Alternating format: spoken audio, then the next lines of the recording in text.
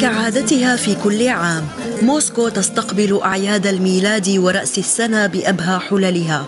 فالساحات والشوارع تتحول إلى لوحة فنية مرسومة بأضواء متناسقة وملونة بأشجار الميلاد العملاقة المستوحاة زينتها من قصص الخيال الروسية. موجة الصقيع وانتشار المتحور الجديد.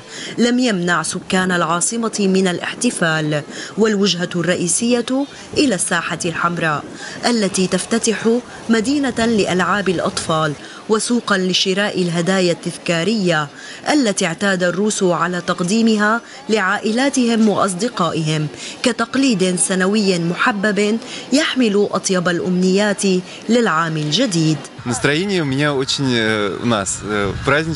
لدينا مزاج جيد للعطلة وننتظر العام الجديد بتفاؤل لأننا أمضينا وقتا صعبا في العزلة العام الماضي. على عكس ما نراه اليوم الحدائق والمطاعم تعج بالمحتفلين. سنذهب إلى المنزل الريفي لنحتفل بالعام الجديد مع جداي فلم أرهم منذ فترة طويلة وأفكر بالهدايا التي سأحصل عليها واليوم أتمتع بالسير في الساحة الحمراء. كل شيء ملون ورائع. كل هذا الجمال لم يصنع بين ليلة وضحاها وإنما هو نتاج أشهر عمل طويلة لمصممين وفنانين يطرحون أفكارا جديدة تتلائم مع المناسبة.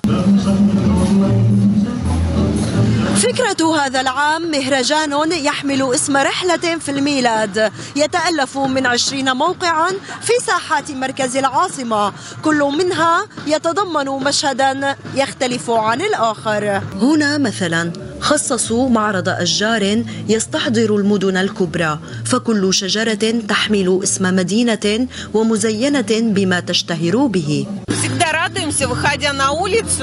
نحن سعداء بالتنزه وقد وصلنا إلى هذه الساحة ورأينا فكرة أشجار المدن الكبرى ولحسن الحظ يوجد واحدة تمثل مدينة برلين. فأقربائي قدموا من هناك لنحتفل سويا. فكرة مثيرة للاهتمام. تزيين أشجار الميلاد بموضوعات مختلفة ولمدن مختلفة ولم أرى ذلك في أي مكان آخر. ونحن الآن نقف عند شجرة الميلاد الخاصة بموسكو. وقبل استقبال العام الجديد لا تنسوا أن تضعوا أمنياتكم في يد بابا نويل أو ما يعرف في روسيا باسم ديد ماروز أي جد الجليد. ترافقه فتاة الثلج الروسية.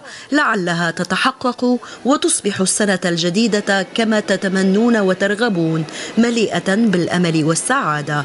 وكل عام وأنتم بخير. مرام حمصي اليوم موسكو.